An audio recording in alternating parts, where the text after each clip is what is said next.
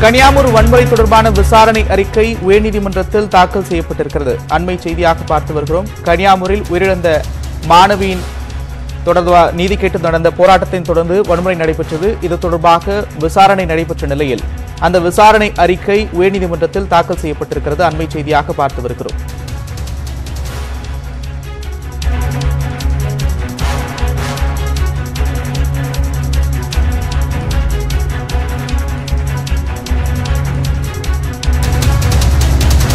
கன்னியாகுமரியில் கடந்த பன்னிரெண்டாம் தேதி பிளஸ் டூ மாணவி உயிரிழந்த நிலையில் அவரது மரணத்திற்கு நீதி கேட்டு நடந்த போராட்டத்தை தொடர்ந்து வன்முறை ஏற்பட்டது. அந்த வன்முறை தொடர்பாக விசாரணை மேற்கொண்ட நிலையில் தற்போது விசாரணை அறிக்கை சென்னை உயர்நீதிமன்றத்தில் தாக்கல் செய்யப்பட்டிருக்கிறது. அண்மை செய்தியாக பார்த்து வருகிறோம்.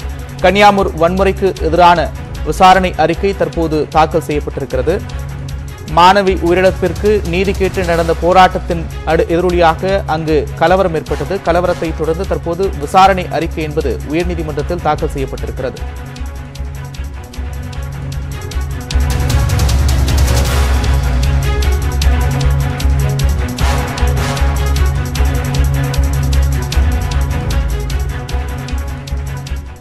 தொழிலதிபர் சரவ